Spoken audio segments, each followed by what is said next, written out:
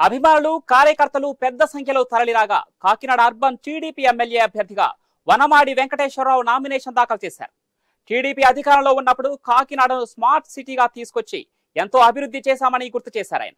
వచ్చే ఎన్నికల్లో గెలిపిస్తే మరింత అభివృద్ధి చేస్తామంటున్న వనమాడి వెంకటేశ్వరరావుతో మా కాకినాడ ప్రతినిధి Rajesh face to face Kakinada city TDP Janasena BJP ఉమ్మడి కూటమి అభ్యర్థి ఎవరైతే వనమాడి వెంకటేశ్వరరావు ఈ రోజు నామినేషన్ జరిగింది అయితే ప్రశ్న ఎవరైతే వనమాడి వెంకటేశ్వర ఉన్నారో వద్దన్నారో వారిని అడిగి మరింత సమాచారం అడి అడిగి తెలుసుకునే ప్రయత్నం చేద్దాం. సార్ చెప్పండి ఈరోజు చూసుకున్నాం ఎంతో వేలాది మంది జన కోలాహలంతో ఈరోజు మీరు నామినేషన్ చేయడం- జరిగింది. అంటే ఇవన్నీ చూస్తే మీకు ఏమనిపిస్తుంది? చా ఈరోజు ప్రజల్లో మార్పు కోరుకుంటున్నారండి. మీకు చాలా స్పష్టంగా కనిపిస్తుంది ఈ రోజున. ఈరోజు నామినేషన్ మా నాయకులు కార్యకర్తలు ఓ సింపుల్గా వేయాలనుకున్నా యాక్చువల్గా. అలాంటిది ఈ రోజులు పెద్ద ఎత్తున ప్రజలు కూడా భాగస్వాములు అయ్యారండి. ఈరోజు కోరుకుంటున్నారు ఈ రాష్ట్రంలో చంద్రబాబు నాయుడు గారు ముఖ్యమంత్రి కావాలి అదేవిధంగా జనసేన బీజేపీ కూటమి రావాలని చెప్పి పెద్ద ఎత్తున ఈరోజు కోరుకున్నారు ప్రజలు. ఎందుకంటే ఐదు సంవత్సరాల పరిపాలన చూస్తారండి అస్తవ్యస్త పాలన అవినీతి పాలన ఈరోజు ఈ రాష్ట్రంలో గంజా డ్రగ్స్ పెరిగిపోవడం అదేవిధంగా సామాన్యుడు బతకడం కష్టంగా ఉంది. రేట్లు పెరిగిపోవడం కరెంట్ రేటు పెరిగిపోయింది ఇంట్లో పన్ను పెరిగిపోయింది చెత్త మీద పన్ను వేస్తారు బతకడం కష్టంగా ఉంది. సామాన్యులు చెప్పడం ఒక యాక్షన్ ప్లాన్ లేదు. కా రాష్ట్రాన్ని ఏ విధంగా అభివృద్ధి చేయాలో యాక్షన్ ప్లాన్ కూడా లేదు ఈ ముఖ్యమంత్రి దగ్గర. అనుభవం లేదు అవగాహన లేదు. అదందరూ తెలిసిపోయింది. గతంలో ఏంటంటే ఒకసారి ఇవ్వాలని వేశారండి. ఒకసారి చూద్దాం చూశారండి.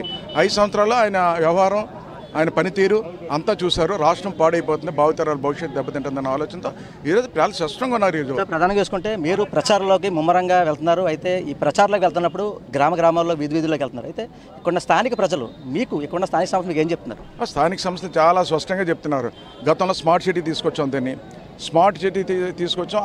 ఆ రోజు చేసిన అభివృద్ధి తప్ప కొత్తగా అభివృద్ధి లేదు. ఈరోజు వాలంటరీ వ్యవస్థను పెట్టారు. ఆ వాలంటరీ వ్యవస్థ అయితే యాభై ఏళ్ళకి ఒకరిని పెట్టారు కానీ ఈరోజు పెన్షన్ తీసేశారు బాబన్నారు ఎందుకు తీస్తారమ్మంటే కరెంట్ బిల్ పెరిగిందన్నారు. కరెంట్ బిల్ ఏమో ఆయనే పెంచేశాడండి. కరెంట్ బిల్ పెరిగిందని పెన్షన్ తీసేస్తున్నాడు. మళ్ళీ ఇల్లు ఉందని తీసేస్తున్నారు. పేదవాడికి ఇల్లు మనం ఇస్తాం కదండి. పెన్షన్ బతకడానికి ఇచ్చాం. ఇల్లు ఉందని తీసేయడం ఏంటండి? అదే విధంగా చూసుకుంటే ఈరోజు అమ్మ ఒడి పేరు అందరికీ చదివిస్తున్నాడు. ఒక్కరికి ఇస్తున్నాడు అండి ఇద్దరు పిల్లలు ఉన్న ముగ్గురు పిల్లలు ఇవ్వట్లేదు మిగతా వాళ్ళకి ఇవ్వట్లేదు. అదేవిధంగా వెయ్యి రూపాయలు దాటితే వైద్యం ఫ్రీ అన్నాడండి. ఎక్కడ ఇచ్చారండి? ఎక్కడా లేదండి. హాస్పిటల్ అభివృద్ధి లేదు. మళ్ళీ ఎక్కడికక్కడికి? వైద్యం ఫ్రీ అన్నాడు అది లేదని చెప్పేసి అందరూ ఆయన చెప్పిన అన్ని అబద్ధాలు అన్నట్టుగా చెప్పి ఈరోజు ప్రజలు నమ్మట్లేదు ఆయన. ఈరోజు ప్రజలకి భారం అయిపోయింది ఈ ప్రభుత్వం అని చెప్పేసి అదేవిధంగా రేపు ఏం చేయబోతున్నావు అని చెప్పి సూపర్ సిక్స్ పథకాలన్నీ చూపిస్తున్నాం వాళ్ళకి. ఇస్తే చాలా బాగున్నాయి బాబు. రేపు మీ ప్రభుత్వానికి ఓటేస్తాం ఈ జగన్మోహన్ రెడ్డి ప్రభుత్వానికి ఓటేయమని చెప్పి చాలా ఓపెన్గా చెప్తున్నారు ఎక్కడ చూసుకున్నా వార్డు వాలంటీర్లని వారు పనిచేస్తున్న వాలంటీర్లు తక్షణమే రాజీనామా చేయాలి. అంటే ఒక కార్యకర్తలా పనిచేయాలని చెప్పి వైసీపీ నాయకులు ఎవరైతే ఉన్నారో అధికార పార్టీ నాయకులు ఒక పక్క వాలంటీర్లు ఒత్తిడి తీసుకొచ్చి వారు రాజీనామా చేసి పరిస్థితి పడుతుంది టీడీపీ తరఫు మీరు ఏమంటారు యా ఐదు సంవత్సరాలు పరిపాలన చేసినట్టు జగన్మోహన్ రెడ్డి పరిపాలనలో నాయకులు కార్యకర్తలు ఎలక్షన్ టైంలో దూరం అయిపోయారండి వాళ్ళకి. ఎందుకు దూరం అయిపోయారంటే నాయకులు కార్యకర్తలకు గౌరవం లేదు. అదేవిధంగా వాళ్ళు చెప్పిన పని ఎందుకు కూడా చేయలేదు. వాలంటీర్లను ఏదైతే పెట్టుకున్నారో ఆ వాలంటీర్లు ఈరోజు కార్యకర్తల నాయకులు లేక రిజైన్ చేసి వాళ్ళతో పని చేసుకోవడానికే వాళ్ళని రిజైన్ చేయించాడు ఈ రోజున. వాళ్ళు కూడా బలవంతంగా. వాళ్ళు కూడా హామీ ఇచ్చాం ఈ రోజున. వాళ్ళకి ఏం చెప్పాడు? చంద్రబాబు నాయుడు గారు వస్తే వాలంటీర్ వ్యవస్థ తీసేస్తారని చెప్పారు. ఆయన ఎప్పుడు చెప్పలేదే? అమ్మ మీరు ఇచ్చే ఏదైతే మీరు చదువులు చదువుకున్నారో పెద్ద చదువులు చదువుకుని వాలంటీర్లో పనిచేస్తున్నారు ఆ పెద్ద చదువులకి నేను ఉద్యోగ అవకాశాలు కల్పిస్తాను. బెటర్ జాబ్స్ వస్తాయి. రాని పక్షాన మీలాంటి వాళ్ళకి పదివేల రూపాయలు జీతం పెంచుతారని కూడా చెప్పారు.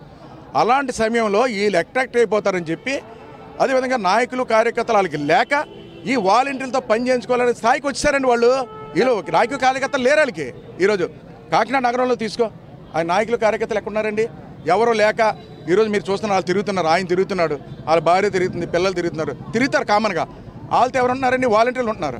కార్యకర్తల నాయకులు ఎవరు లేరండి? రోజుల వ్యవధిలో ఎన్నికలు ఉన్నాయి. అయితే రెండు వేల ఇరవై నాలుగు సార్వత్రిక ఎన్నికలు రోజుల్లో ఉన్నాయి. ఏవైతే ఎన్నికల్లో ప్రజలు ఇక్కడ స్థానిక ప్రజలు మిమ్మల్ని ఓట్లేసి గెలిపిస్తే మీరు ప్రజలకు గిఫ్ట్ ఏంటి? యా. ఏమండి మాది పూర్వం బ్రిటిష్ టైంలో కోకినాడ అనేవారండి. కోకినాడ్ని కాకినాడ అయ్యిందండి. అలాంటి కాకినాడని దేశంలో నెంబర్ వన్ సిటీగా స్మార్ట్ సిటీ తెచ్చుకున్నామండి. స్మార్ట్ సిటీ ఈ దేశంలోనే నెంబర్ వన్ సిటీగా చేయాలని రాష్ట్రంలో నెంబర్ వన్ సిటీగా చేయాలని తపన చేసి పనిచేసామండి అలాంటి సిటీని మేము ఓడిపోయిన తర్వాత దూరంపూడి చంద్రశేఖర్ రెడ్డి ఆ సిటీ ఇప్పుడు కాకినాడ స్మార్ట్ సిటీ అనట్లేదండి. గంజా సిటీ డ్రగ్స్ సిటీ భూ కబ్జాల్ సిటీ రౌడీల్ సిటీగా మారిపోయిందండి. అలాంటి భావన కలిగేసింది. ఇది పెన్షనర్ ప్యారడైజ్గా ఈ జిల్లాలో ఎవరైనా సరే రిటైర్ అయిన ఎంప్లాయీస్ కానీ ఎవరైనా పిల్లల చదువుల కోసం కానీ కాకినాడ వచ్చి ఇల్లు కట్టుకుని ప్రశాంతంగా బతికేవారండి. ఈరోజు కాకినాడ ఎవరు రావట్లేదండి? ఎవరు రావట్లేదండి? పల్లెటూరుకి వెళ్ళిపోతున్నారు మళ్ళీ. అక్కడే ప్రశాంతంగా ఉందని చెప్పి కాకినాడని ఈరోజు రౌడీల సిటీగా గంజా సిటీగా రో డ్రగ్స్ సిటీగా పేరు తీసుకొచ్చాడు మీకు అందరికీ తెలుసు. ఈరోజు ప్రజలు కోరుకుంటున్నారు కొండబాబు నువ్వు ఎమ్మెల్యే కావాలి. ఉమ్మడి అభ్యర్థిగా నీకు ఓటేస్తామని చెప్పి తెలుగుదేశం పార్టీ నాయకులు కార్యకర్తలు కాదు జనసేన నాయకులు కార్యకర్తలు బీజేపీ నాయకుల కార్యకర్తలు. ఇతరులు పెద్దవాళ్ళు చిన్నవాళ్ళు అనే తేడా లేకుండా ఈరోజు ఉమ్మడి అభ్యర్థిగా నన్ను నెగ్గించాలి. మళ్ళీ స్మార్ట్ సిటీ చేస్తాడు కొండబాబు. రౌడీ లేని సిటీగా చేస్తాడు. గంజా లేని సిటీగా చేస్తాడు. ప్రశాంతమైన వాతావరణంలో బతకొచ్చి కొండబాబు నెగ్గించుకోవాలని ప్రజలందరూ సిద్ధంగా ఉన్నారని సందర్భంగా తెలియజేస్తున్నాం మీ అందరికీ. ఏవైతే ఉన్న ఏదైతే కాకినాడ సిటీలో అంటే సూపర్ సిక్స్ ఏవైతే టీడీపీ పాలనలో ఇస్తామన్నామో ఆ సూపర్ సిక్స్ పాలన ప్రజలందరూ చూస్తున్నారు. అంటే ఇప్పుడు ఐదేళ్ళ కాలంలో ప్రజలు ఎంతో ఇబ్బంది పడ్డారు. ఈ యొక్క వైసీపీ పాలన చూసి ఒక ఇసుకుపోయారని చెప్పి అయితే రాబోయే కాలంలో ఖచ్చితంగా టీడీపీ జనసేన బీజేపీ కూటమి అభ్యర్థిగా తమను గెలిపిస్తారని చెప్పి ఎవరైతే కాకినాడ సిటీ ఎమ్మెల్యే అభ్యర్థి వనమాడి వెంకటేశ్వరరావు ధీమా వ్యక్తపరిచారు ఇదే కూడా తాజా పరిస్థితి. Camera person సురేష్తో Rajesh I news Kakinada urban నుంచి.